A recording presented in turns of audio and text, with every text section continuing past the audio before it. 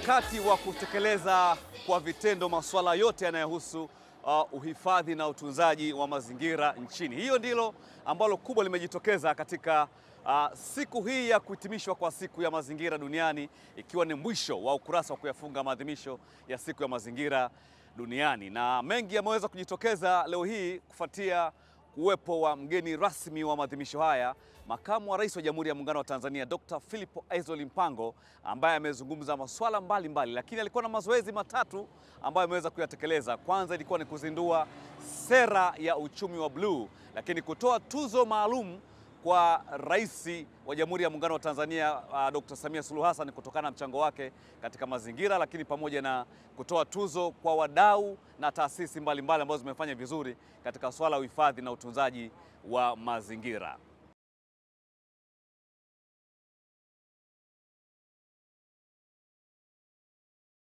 Ofisi ya Makamu wa Rais imeona kwamba imtunuku Daktari Samia Suluhu Hassan, Rais wa Jamhuri ya Muungano wa Tanzania, tuzo hii maalum ya mazingira kwa mwaka 2024. Mheshimiwa Makamu wa Rais, naomba kuwasilisha. Ni kubwa.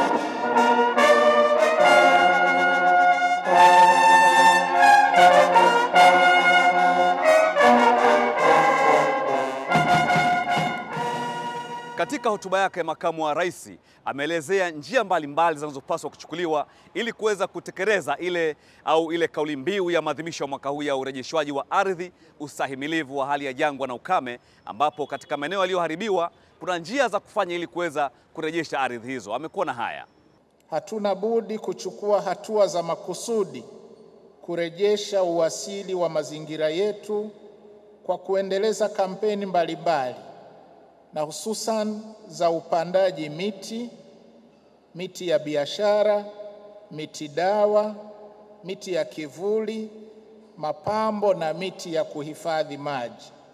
Jitihada hizo za upandaji miti katika maeneo ya wazi na waomba sana ziende sambamba na uanzishwaji wa bustani za kijani katika miji yetu ili kuongeza upatikanaji wa hewa safi, kupunguza hali ya joto, kutengeneza maeneo ya kupumzika na kufanyia mazoezi na michezo mbalimbali kwa ajili ya kuboresha afya zetu na kupendezesha miji na majiji.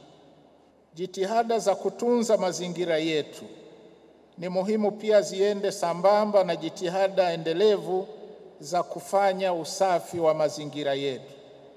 Kwa upande wake Waziri Mkuu Kassim Majaliwa Majaliwa yeye akaeleza namna serikali ilivyoweza kujipanga kuhakikisha kwamba inayarejesha yale maeneo yaliyoweza kufanyiwa uharibifu wa mazingira, na alikuwa na haya ya kuzungumza. Nchi yetu imeendelea kufanya jitihada za makusudi za kukabiliana na athari hizo pamoja na utekelezaji wa mipango mikakati na afua za kunusuru nchi yetu na kuepukana na athari hizo. Hatuna budi kuongeza kasi ya uhifadhi na usimamizi wa mazingira hapa nchini. Kasi hiyo iende sambamba na kuhakikisha kwamba ushiriki wa wadau wote na kila mwananchi katika uhifadhi wa mazingira na, na usimamizi wa mazingira na uhifadhi wa mazingira unasimamiwa kwa karibu. Katika hotuba yake, waziri wa nchi ofisi ya makamu wa rais muungano na mazingira, Dr. Seleman Jafo yeye aliweza kuchagiza kuhusiana na sera mpya ya mazingira nchini pamoja na sera ya uchumi wa bluu na alikuwa na haya ya kuzungumza.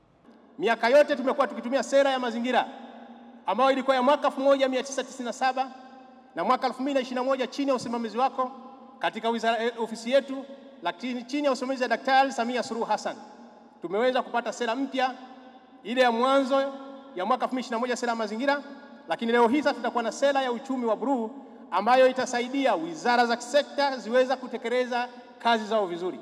Sera hii itakuwa sera kiongozi kwa wizara nyingine kuweza kutekeleza, ambayo ni wizara ya uvuvi na mifugo, lakini wizara ya ujenzi na wizara ya maliasili na wizara zingine zote mtambuka, ambao kazi yao kubwa kuona rasilimali ya bahari, jinsi gani nchi yetu itaweza kunufaika, kwa sababu tuna ukanda mrefu sana wa bahari.